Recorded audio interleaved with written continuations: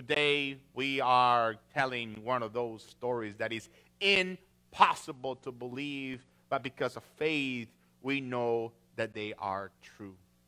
So if you have ears to listen, listen to the word inspired by God for us, the children of God. Today, our lesson, our legend, has a name Deborah. The title of our lesson is called At the Hands of a Woman. For some of you, that will be dangerous. For others, will be a celebration. Our scripture for the lesson is taken from Judges 4, verses 1 to 10, reading now from the New Living Translation. After Ehud's death, the Israelites again did evil in the Lord's sight so the Lord turned them over to King Jabin of Hazor, a Canaanite king. The commander of his army was Sisera, who lived in Harosheth Hagoyim. Sisera, who had 90 hundred iron chariots, ruthlessly, ruthlessly, wait, that's not right. How do you say that word? Ruth. That's right. Ruthlessly. Oh, I'm going to butcher that one oppressed the Israelites for 20 years. You know, as I'm talking about this, and you have these big words, obviously not in English, but in the Bible. Have you ever been in charge of reading the Bible in public? Know this recommendation from your pastor, whose language, English, is not my first language.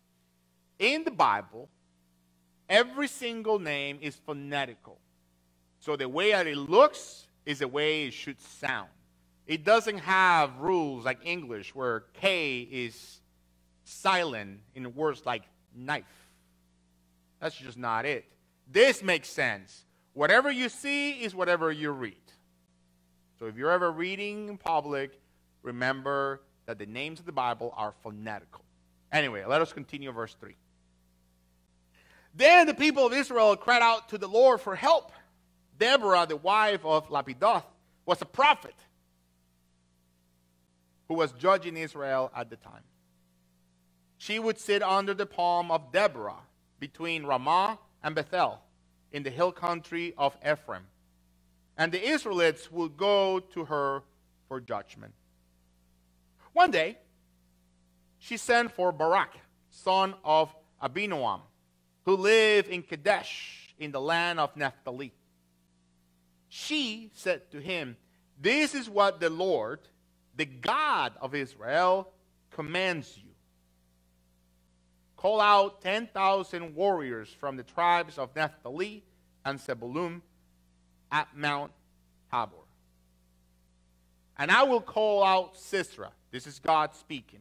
And I will call out Sisera, commander of Jabin's army, along with his chariots and warriors to the Kishon River. There I will give you victory over him. Barak told her, I will go, but only if you go with me. Very well, she replied. I will go with you, but you will receive no honor in this venture. For the Lord's victory over Sisera will be at the, say with me, at the hands of a woman.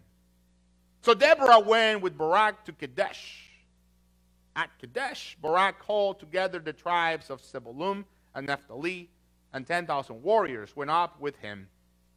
Deborah also went with him. The word inspired by God for us, the children of God. Thanks be to God. Deborah at the hands of a woman. This is going to be a fun sermon to preach. I promise you that.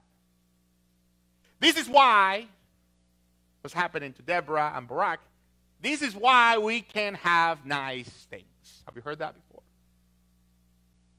After Ehud's death, which is the, pro, the judge that we talked about last Sunday, Israel enjoyed 80 years of good relationship with God. 80 good years.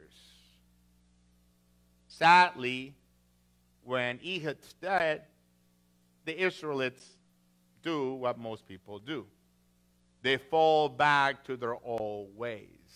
No different than when you have a child or a teenager, actually, and you say, Why did you do that? And they're just staring at you. Like, I don't know. Why? We just talked about this. After Ehud's death, Israel didn't know what to do.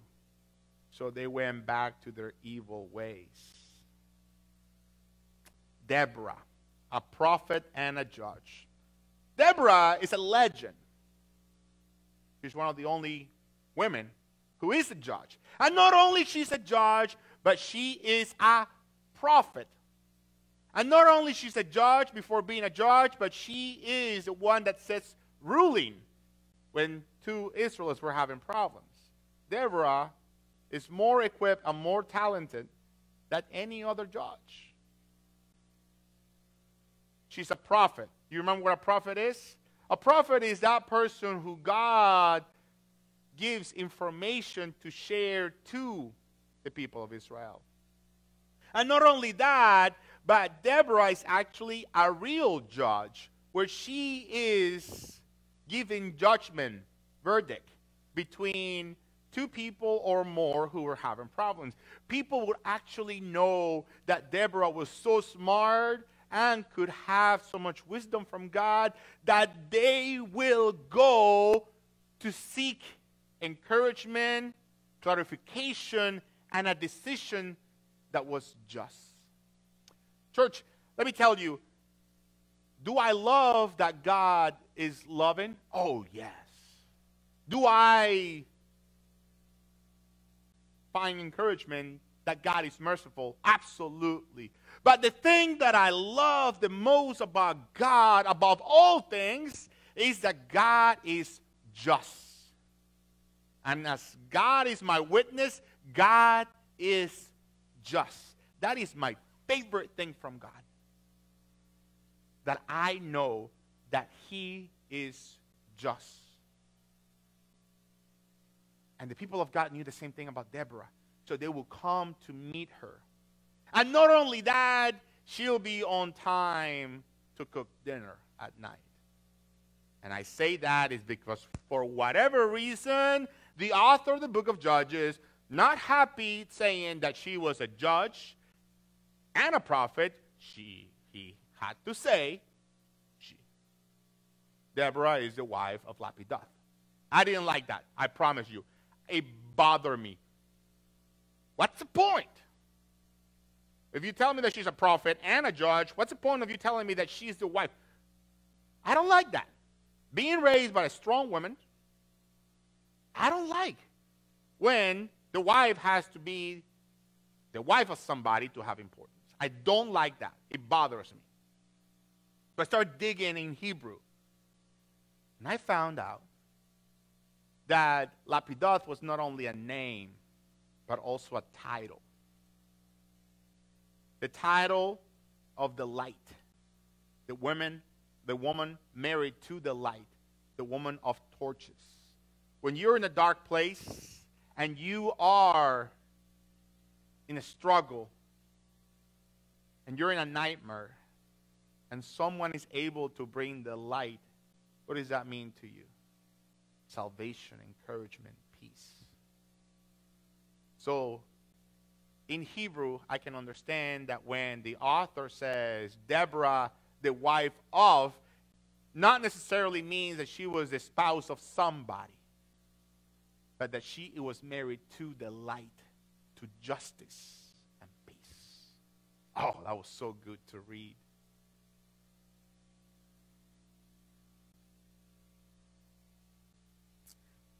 Deborah, the prophet and the judge before becoming a judge, before liberating Israel. One day, Deborah, say it with me, the prophet and judge. One day she sent for Barak, son of Abinoam, who lived in the land of Kadesh of Naphtali. She, as a prophet and said to him, This is what the Lord of Israel commands you.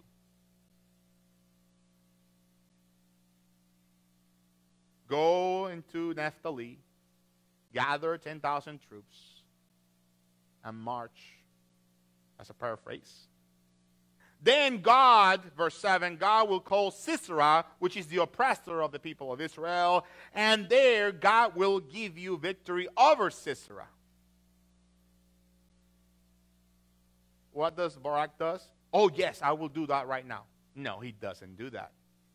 If you ask me, this general of the army of Israel is a weak character and spirit, a coward, if you ask me. He says, I will go, but only if you go with me. Really? You are the general in charge of commanding 10,000 troops, and you want someone to go with you to do what this prophet and judge wants you to do. Really? Barak? So what happens to him? Consequences. Church, remember that God not only punishes because he loves us, not only disciplines because he loves us, but God allows consequences to happen to us because of our choices or the lack thereof.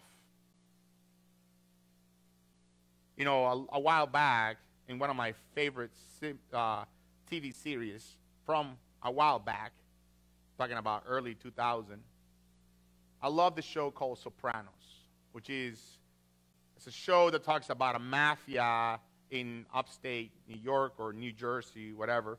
And it talks about the challenges of a mafia boss with mental illness. And I love this show. And if you think that that is weird that a pastor likes mafia movie violence stuff, you haven't read the Bible. Because if you continue reading a few verses later, in verse 21, you will see this woman named Jael. Jael. And Jael sees Sisera running away from the fight. And he hides in her tent. And he says, Hey, hey, if anybody comes looking for me, tell them nobody's here. But I'm thirsty. Give me some water, woman. I will give you some water. She took a jar of milk and gave it to him. Now, have many of you drink milk straight from the cow? No?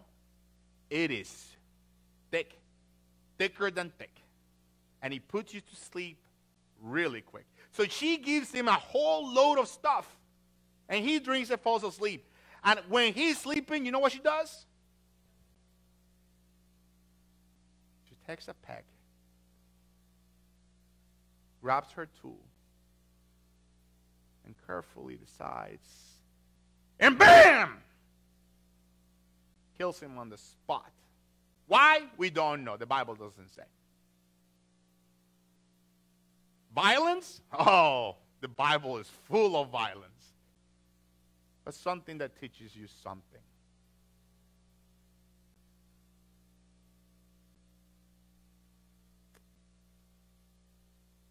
We don't have time. We make time for the right things.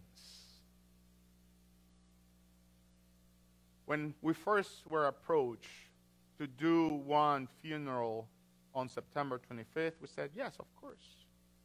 When we were approached for a second service, we said, oh, yeah, we will put one in the morning and one in the afternoon.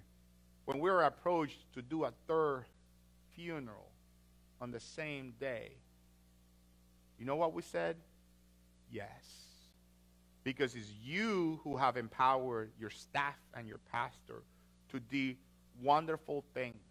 Where we have a whole campus where we can accommodate the needs of the people of God for the celebration and the honor of God, in honor of our loved ones.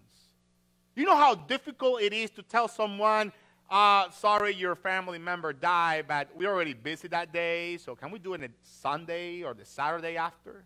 You know how difficult that is? And you know how good it is we're able to say, yes, we will because we can. How? Don't you worry. We got this. The whole staff says, We got this. So we were taking every port to be united with what we have. We took our pecks and our hammers and says, "Hey, we're going to make it work. This is sufficient." And this is what happens. Church, so many times we are provided with things, things of value. But at first, they don't seem like much. I have this sculpture of Jesus that I've been talking and using all morning with you. I gather it from a gentleman that I met in one of my trips to Cuba. I found this sculpture of Jesus in the trash. He says, Oh, it's not good enough. The hands and the feet broke off. I could get a really good detail of the face, but the body was broken and I couldn't get it to work.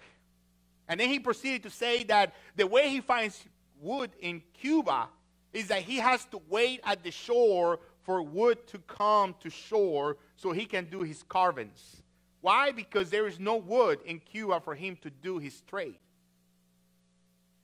And I look at the trash that he had, and if you look at his trash at that time, well, actually, you don't have to go to Cuba to see it. You can go to my office and look at this man's trash.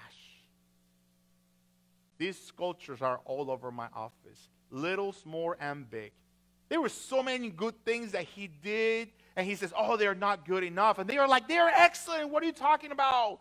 This is a wonderful thing. Let me take them. Let me buy them from you. He says, No, that's trash. You can't buy that. Oh, you don't even know. You don't even know. Which reminds me also of David Ayers. What you see behind Jesus is figurines that were bought in Israel by David's wife, who, he, who she brought long time ago, and the church continues to use it every single season of Advent. And I said, I don't have to wait until Advent. I'm the pastor. I can do it. I will make it into the sermon. You will see. And behind that, you will see a guitar that was molded and used for worship. And what you see behind that is flowers to honor God.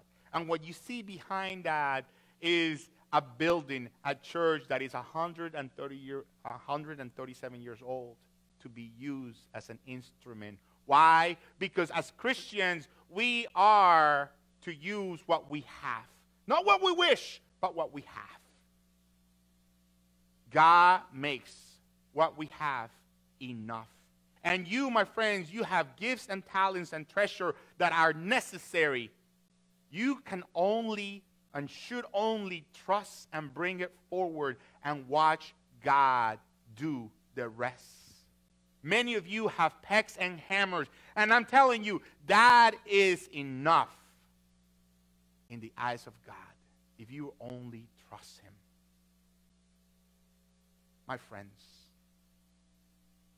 our commitment is to trust that we are enough the way we are. We need to take the challenge to use them. All of you have gifts and talents that are going unused right now. Bring them forth. Bring them for the glory of God. Amen.